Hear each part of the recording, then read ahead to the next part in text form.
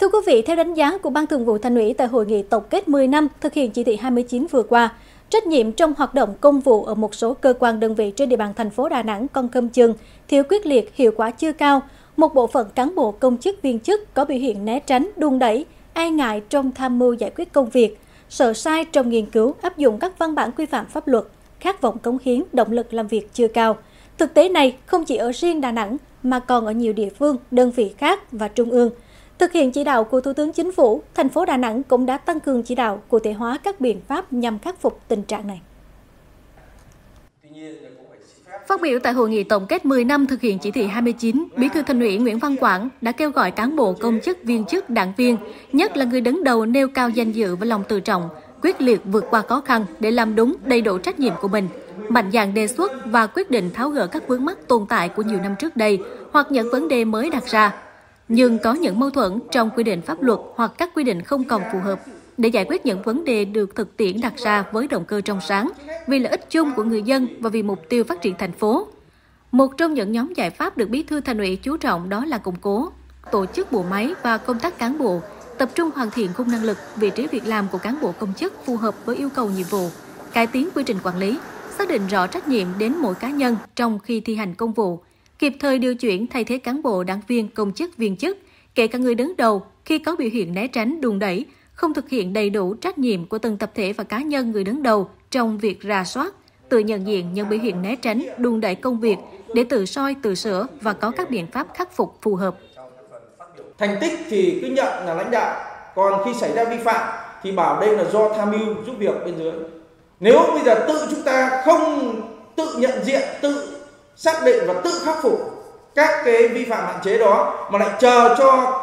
cơ quan cấp trên cấp ủy cấp trên vào kiểm tra giám sát phát hiện ra xử lý kỷ luật thì khi đó người đứng đầu phải chịu trách nhiệm cao hơn.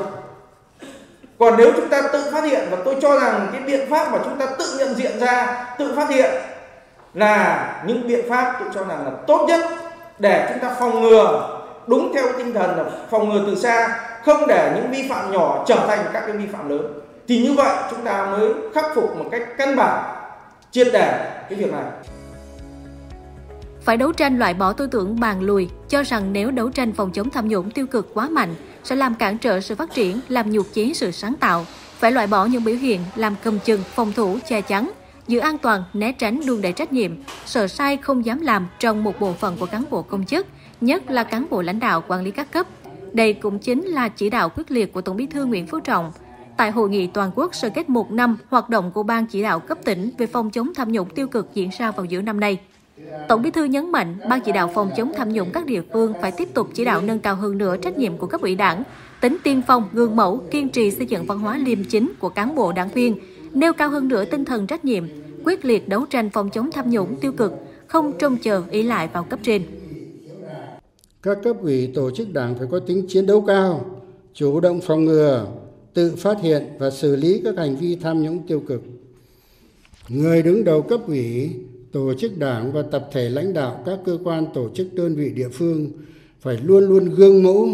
quyết liệt tự soi tự sửa nói đi đôi với làm trực tiếp làm chỉ đạo chủ động phòng ngừa kịp thời phát hiện xử lý nghiêm các hành vi tham nhũng tiêu cực. Tất nhiên như tôi đã nói vừa rồi, muốn thế, mình phải sạch đái thì mới làm được. Mình phải gương mẫu, mình đừng vướng bận vào cái gì thì mới có thể làm được. Chứ mình đã vướng vào rồi, thì thưa các đồng chí, người ta bảo há miệng, mắc quai. Chân mình còn lấm bê bê, lại cầm bó đuốc đi dê chân người, ai người ta chịu? Cho nên bản thân mỗi chúng ta phải giữ gìn trong sạch cái đã thì mới nói được người khác